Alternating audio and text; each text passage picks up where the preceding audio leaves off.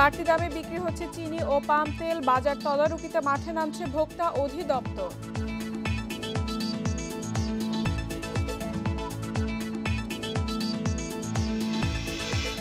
Mobile call ও অ্যাপে অভিযোগ জানাতে পারবেন বিদ্যুতের গ্রাহকরা।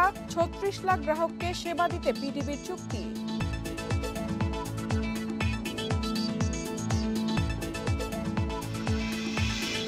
গত অর্থ বছরে চট্টগ্রাম বন্দরের আয়ের রেকর্ড গেল পাঁচ বছরে বেড়েছে চৌত্রিশ শতাংশ।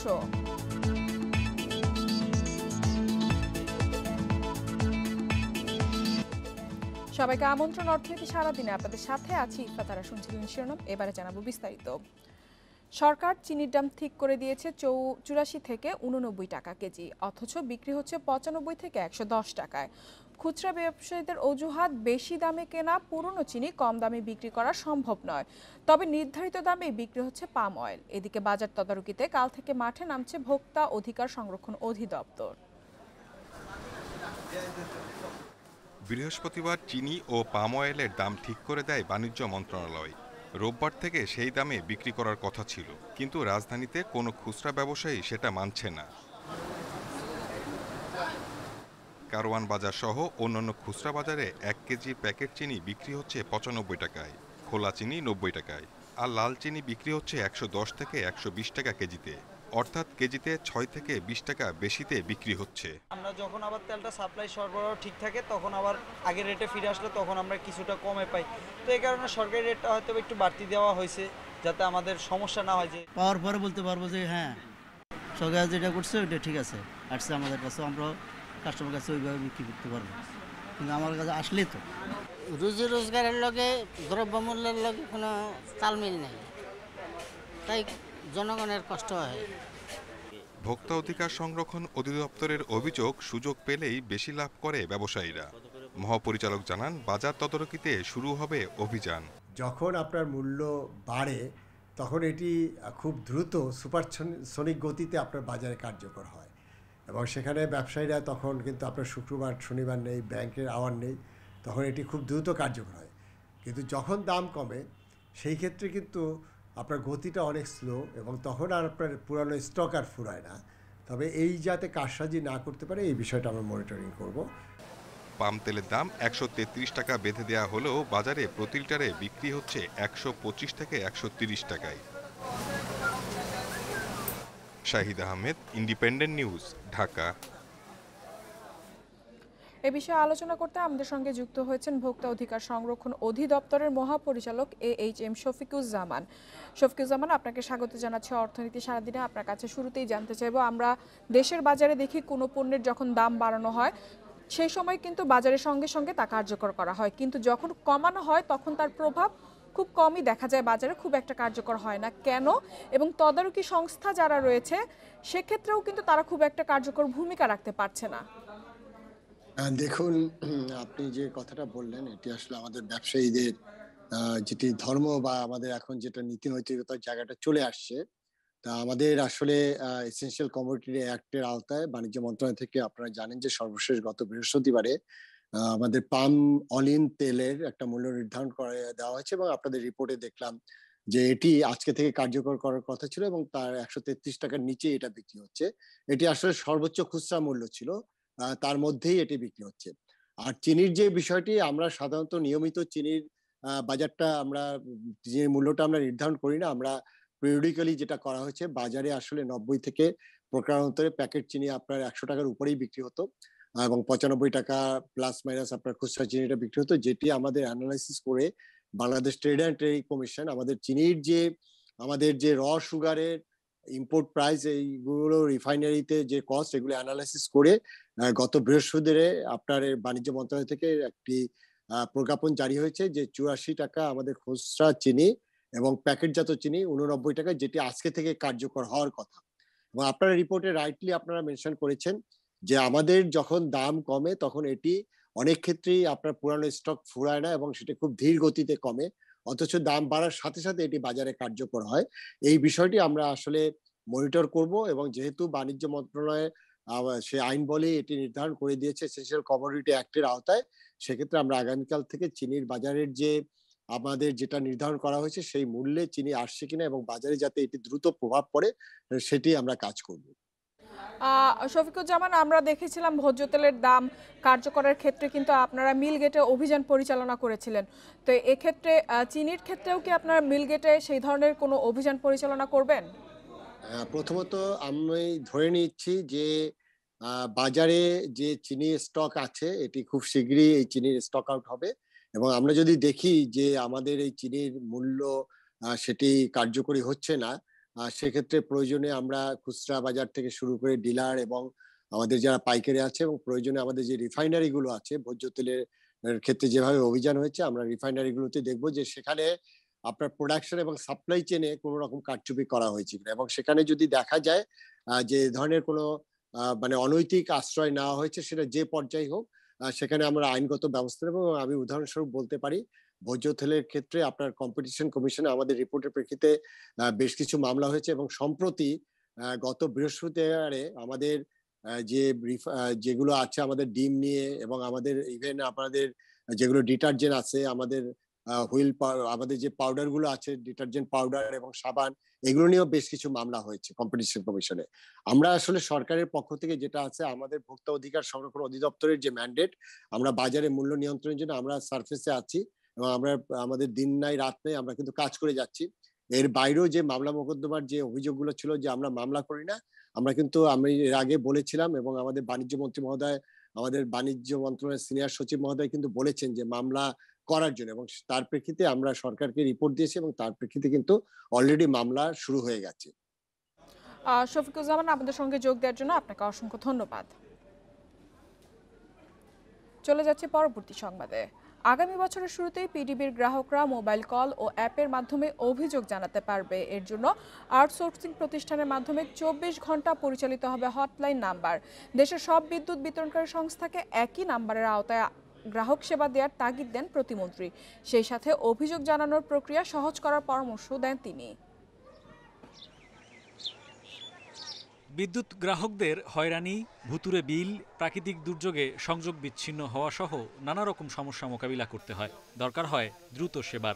কিন্তু সরাসরি বিতরণকারী প্রতিষ্ঠানে অভিযোগ জানাতে কালক্ষেপণ হয়। এ সমস্যা থেকে মুক্তি দিতে বিদ্যুৎ উন্নয়ন বোর্ড, তার চট্টগ্রাম, ময়মনসিংহ, সিলেট ও কুমিল্লা অঞ্চলের ছত্রিশ লাখ গ্রাহকের জন্য চালু করতে যাচ্ছে কল সেন্টার ও গ্রাহক সেবা ব্যবস্থা। রোববার আগামী দুই বছরের জন্য আউটসোর্সিং প্রতিষ্ঠান হিসেবে ডিজিকন টেকনোলজিসের সাথে চুক্তি করে পিডিবি। আমাদের লক্ষ্যমাত্রা আগামী পহেলা জানুয়ারি দুই হাজার তেইশ থেকে এই কল সেন্টারটি পূর্ণাঙ্গভাবে চালু হবে। এবং সার্বক্ষণিক দিনরাত চব্বিশ ঘণ্টা এটি পরিচালিত হবে। মোবাইল নাম্বারকে শুধু বেস করে যদি আমি এই সিস্টেমটি ডেভেলপ করতে পারি তাহলে এবং যত ইউজার ফ্রেন্ডলি করা যায় গ্রাহকের এন্ডে যত কম তথ্য প্রদান করতে হয় যত কম ইন্টারভেনশনের প্রয়োজন হয় সেটাই ভালো হবে। Mobile apps one six one three one নম্বরে ভয়েস কল ওয়েবসাইটের মাধ্যমে তথ্য ও অভিযোগের বিপরীতে সেবা পাবেন গ্রাহকরা। থাকবে ড্যাশবোর্ড ও সার্বক্ষণিক মনিটরিং ব্যবস্থা। গ্রাহক তার অভিযোগ নিষ্পত্তির অবস্থাও অ্যাপসে জানতে পারবেন। ডিস্ট্রিবিউশন কোম্পানিগুলোর সার্ভিস দেওয়া আর কিচ্ছু না। আপনাকে যত উত্তম সার্ভিস দিবেন ইউ উইল সেভ মানি আপনারা অর্থ বাঁচাতে পারবেন, জানেন। এতে গ্রাহক সেবা বাড়বে গ্রাহকের ব্যবহার বাড়বে এবং বিপিটিভিকে চেষ্টা থাকা উচিত। অন্য সব ডিস্ট্রিবিউশন কোম্পানিগুলিকে কীভাবে আনা যায়? এই প্রসেসটা শুরু করা উচিত।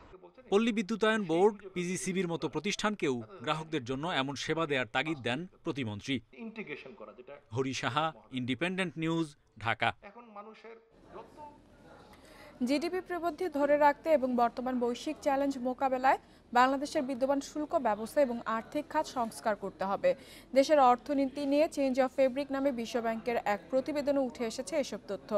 প্রতিবেদনে বাংলাদেশের প্রবৃদ্ধির জন্য তিনটি বাধা চিহ্নিত করেছে বিশ্বব্যাংক। এগুলো হলো বাণিজ্য সহযোগিতা সক্ষমতা হ্রাস দুর্বল ও ঝুঁকিপূর্ণ আর্থিক খাত এবং ভারসাম্যহীন ও অপর্যাপ্ত নগরায়ন। এই তিন বাধা দূর করতে পারলে উন্নয়ন আরও ত্বরান্বিত হবে এবং ভবিষ্যতে প্রবৃদ্ধি আরও টেকসই হবে বলে মন্তব্য করেছে বিশ্বব্যাংক। প্রতিবেদনে আরও বলা হয়, কয়েক দশক ধরে বিশ্বের শীর্ষ দশটি সেরা প্রবৃদ্ধি অর্জনকারী দেশগুলোর একটি হলো বাংলাদেশ।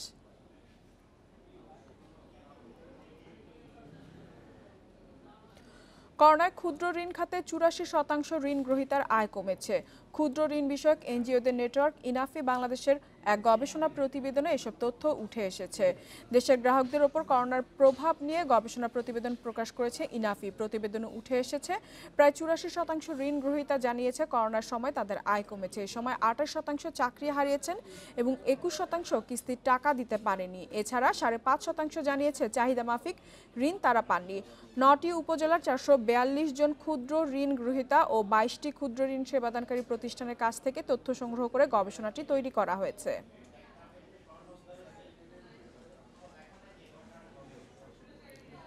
গত অর্থ বছরে আয়ের নতুন রেকর্ড গড়েছে দেশের অর্থনীতির স্বর্ণদ্বার খ্যাত চট্টগ্রাম বন্দর। এ সময় আয় হয়েছে তিন হাজার পাঁচশো পঁচাশি কোটি টাকা। এর আগে কখনোই এক অর্থ বছরে এত আয় করেনি এই বন্দর।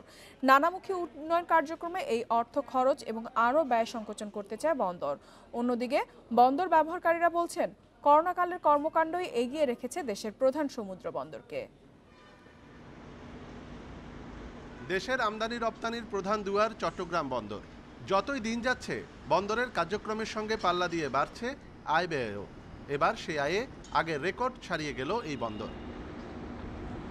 দু হাজার একুশ বাইশ অর্থ বছরে চট্টগ্রাম বন্দরের মোট আয় তিন হাজার পাঁচশো পঁচাশি কোটি টাকা। ব্যয় ও কর বাদ দিয়ে নিট আয় এক হাজার পঁচাত্তর কোটি টাকা। সব মিলিয়ে গেল পাঁচ বছরে আয় বেড়েছে চৌত্রিশ শতাংশ।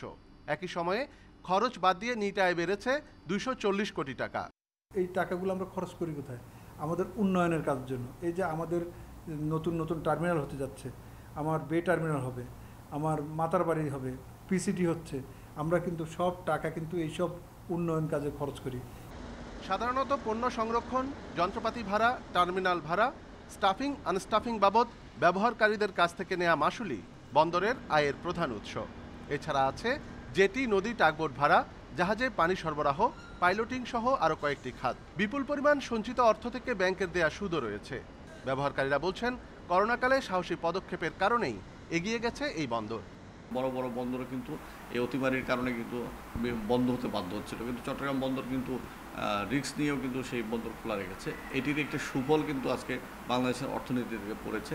আমাদের ইকুইপমেন্টের সংখ্যা বেড়েছে কিন্তু যেটি এই মুহূর্তে বাড়েনি আমরা আশা করতেছি যে পতেঙ্গা টার্মিনাল যদি হয় তাহলে ওখানে আমরা কন্টেনারের জন্য তিনটা জেটি পাবো বাল্কের জন্য একটা জেটি পাবো। সেই ক্ষেত্রে হয়তো কিছুটা স্বস্তির দায়ক সংবাদ হতে পারে। গেল অর্থ বছরে চট্টগ্রাম বন্দরে জাহাজ এসেছে চার হাজার দুশো একত্রিশটি। হ্যান্ডলিং হয়েছে প্রায় একত্রিশ লাখ একক কন্টেইনার ও এগারো কোটি বিরাশি লাখ টন খোলা পণ্য। Anupam Shil Independent News Chattogram. পর্যটন খাতকে এগিয়ে নিতে ভিসা সহজীকরণ প্রক্রিয়ার উপর জোর দিচ্ছে সরকার। রোববার রাজধানীর একটি হোটেলে আয়োজিত এক সংবাদ সম্মেলনে এই কথা বলেন বেসামরিক বিমান পরিবহন ও পর্যটন প্রতিমন্ত্রী মোহাম্মদ মাহবুব আলী। প্রতিমন্ত্রী বলেন, ভিসা জটিলতার কারণে কাঙ্ক্ষিত পর্যটক পাওয়া যায় না, তাই পর্যটন শিল্পকে সামনে এগিয়ে নিয়ে যেতে অন অ্যারাইভাল ভিসা সহজ করতে হবে, যাতে সহজে পর্যটকরা বাংলাদেশে আসতে পারে। এ সময় অভ্যন্তরীণ পর্যটনে বাংলাদেশ অনেক সাফল্য অর্জন করেছে বলে জানান বেসামরিক বিমান ও পর্যটন সচিব মোকাম্মেল হোসেন। সংবাদ সম্মেলনে জানানো হয়, আগামী উনত্রিশ সেপ্টেম্বর থেকে এক অক্টোবর পর্যন্ত এশিয়ান ট্যুরিজম ফেয়ারের ঘোষণা দেওয়া হয়। ইন্টারন্যাশনাল কনভেনশন সিটি বসুন্ধরায় তিন দিনের এই মেলা চলবে সকাল দশটা থেকে সন্ধ্যা সাতটা পর্যন্ত। আমি স্বরাষ্ট্র মন্ত্রণালয়ের সাথে, মাননীয় মন্ত্রীর সাথেও মিটিং করেছি। বিশেষ করে এই অনারেবল ভিসা যত সহজ করা যায়, আমাদের ট্যুরিজমকে সামনের দিকে নিয়ে যেতে গেলে আমাদের ভিসা পদ্ধতি সহজ করতে হবে। এটা কিন্তু একদম প্রিকন্ডিশন যাতে লোকজন আসতে পারে সহজে, সেই ব্যাপারে আমাদের আলাপ আলোচনা চলছে। গোপন সংবাদের ভিত্তিতে টেকনাফের নাফ নদী থেকে দুই কেজি একশো আটান্ন গ্রাম ওজনের তেরোটি স্বর্ণের বার উদ্ধার করেছে বাংলাদেশ কাস্টমস গোয়েন্দা ও তদন্ত সার্কেল। উদ্ধারকৃত স্বর্ণের বর্তমান বাজার মূল্য প্রায় এক কোটি বাহান্ন লাখ পঁয়ত্রিশ হাজার টাকা। জানা যায়, শনিবার রাতে টেকনাফ সীমান্ত দিয়ে মিয়ানমার থেকে আনা স্বর্ণ চোরা চালানের সংবাদ পেয়ে কাস্টমস গোয়েন্দা ও তদন্ত সার্কেল এবং বাংলাদেশ কোস্টগার্ড টেকনাফের যৌথ দল নাফ নদী তীরবর্তী বিভিন্ন স্থানে অবস্থান নেন। কাস্টমস গোয়েন্দা কোস্টগার্ডের উপস্থিতি টের পেয়ে বস্তা ফেলে নদীর পাশের প্যারাবন পেরিয়ে পাহাড়ি জঙ্গলে পালিয়ে যায় মূল হোতা। পরে পরিত্যক্ত অবস্থায় গুড়ের বস্তা থেকে তেরোটি স্বর্ণের বার উদ্ধার করা হয়, যার প্রতিটির ওজন একশো ছেষট্টি গ্রাম করে মোট দুই কেজি একশো আটান্ন গ্রাম। এ ঘটনায় মামলা দায়েরের প্রক্রিয়া চলমান রয়েছে।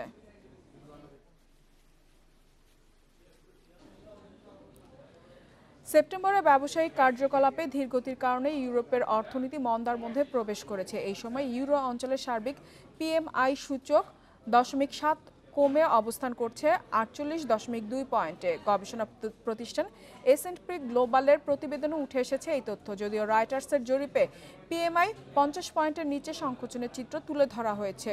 জীবনযাত্রার ব্যয় বেড়ে যাওয়ায় এখন অর্থ সাশ্রয় বেশি করছেন ইউরো অঞ্চলের ভোক্তারা। পাশাপাশি রাশিয়া ইউক্রেন যুদ্ধের প্রভাবে জ্বালানি তেল ও গ্যাসের দাম বেড়ে যাওয়ায় ব্যাপকভাবে ক্ষতিগ্রস্ত হয়েছেন উৎপাদনকারীরাও। সব মিলিয়ে ইউরো অঞ্চলের ব্যবসায়িক কার্যক্রমে ব্যাপকভাবে বাধাগ্রস্ত হচ্ছে। ফলে উনিশ দেশের অঞ্চলটির অর্থনীতি মন্দার মধ্যে প্রবেশ করেছে বলছেন অর্থনীতিবিদরা।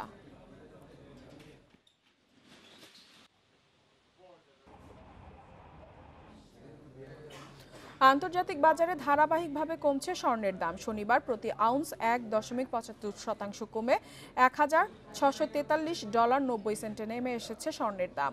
বাজার পর্যালোচনা করে দেখা যায়, আগস্টের মাঝামাঝি থেকে বিশ্ববাজারে স্বর্ণের দাম কমছে। গত বারো আগস্ট প্রতি আউন্স স্বর্ণের দাম ছিল এক হাজার আটশো এক ডলার বাষট্টি বিরাশি সেন্ট। গত এক সপ্তাহে বিশ্ববাজারে প্রতি আউন্স স্বর্ণের দাম কমেছে একত্রিশ ডলার ছেষট্টি সেন্ট। এতে এক মাসের ব্যবধানে কমেছে একশো আট ডলার বা ছয় দশমিক পনেরো শতাংশ। স্বর্ণের পাশাপাশি রূপা ও প্লাটিনামের দরও কমেছে। গত চব্বিশ ফেব্রুয়ারি রাশিয়া ইউক্রেন যুদ্ধ শুরুর পর থেকে বিশ্ববাজারে বাড়তে থাকে স্বর্ণের দাম। মার্চের মাঝামাঝি সময়ে প্রতি আউন্স স্বর্ণের দাম দু হাজার ডলার পর্যন্ত ছাড়িয়ে যায়। এরপর আগস্টের মাঝামাঝি থেকে আবারও স্থিতিশীল হচ্ছে বাজার।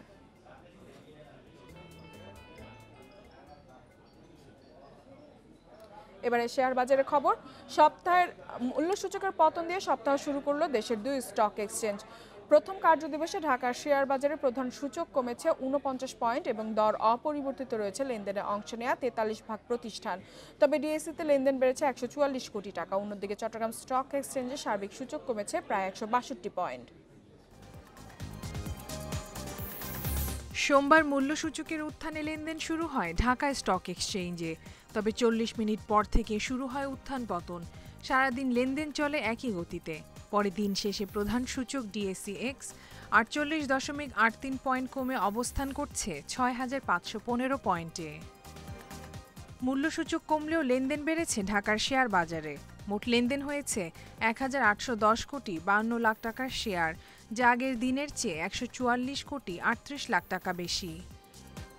হাত বদলে অংশ নেওয়া তিনশো সত্তরটি কোম্পানি ও মিউচুয়াল ফান্ডের মধ্যে অপরিবর্তিত রয়েছে তেতাল্লিশ ভাগ প্রতিষ্ঠানের শেয়ার দর, যেখানে দর বেড়েছে তিরানব্বইটির কমেছে একশো সতেরোটির এবং অপরিবর্তিত আছে একশো ষাটটি প্রতিষ্ঠানের শেয়ার দর। সবচেয়ে বেশি লেনদেন হওয়া প্রতিষ্ঠানের তালিকায় প্রথম অবস্থানে উঠে এসেছে ওরিয়েন ফার্মা, দ্বিতীয় বেক্সিমকো লিমিটেড এবং তৃতীয় অবস্থানে রয়েছে ইউনিক হোটেল অ্যান্ড রিসোর্ট। শতাংশের দিক থেকে দর বৃদ্ধির তালিকার প্রথম অবস্থানে সি পার্ল বিচ রিসোর্ট, দ্বিতীয় মনুস্পুল পেপার এবং তৃতীয় অবস্থানে ফারিস নিটিং অ্যান্ড ডাইন। অন্যদিকে চট্টগ্রাম স্টক এক্সচেঞ্জে সার্বিক সূচক একশো একষট্টি দশমিক আট পাঁচ পয়েন্ট কমে অবস্থান করছে উনিশ হাজার একশো তিরাশি পয়েন্টে। লেনদেন হয়েছে একশো ছাব্বিশ কোটি চোদ্দ লাখ টাকার share.